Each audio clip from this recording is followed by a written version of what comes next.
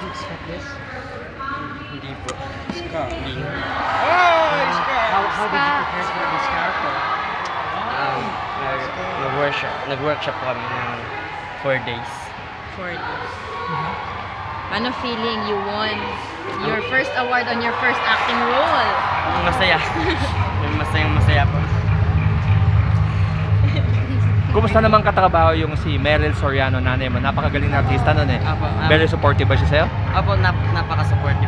Um, naging na, napa-close close kami. Masaya siyang kasama. Tuloy-tuloy na ang career mo. Ayan. Hindi ko po alam. Lilipat ka na. Siguro pa.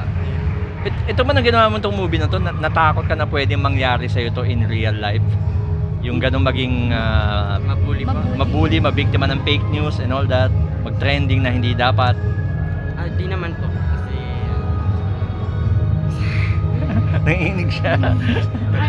Ah, ano naman yung Kwento lang. kahulugan para sa'yo nung award mo?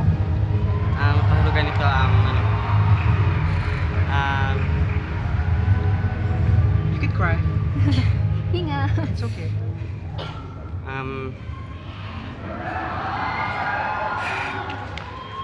Mabigyan kita ng mas madaling question. Paano mo nakuha tong role na to? Nag-audition ka ba o ano? Ano ba Um, paano ba nagsimula? na, may nag-send po ng pic ko sa kay Direk Arden Rodcundes. Tapos, Okay.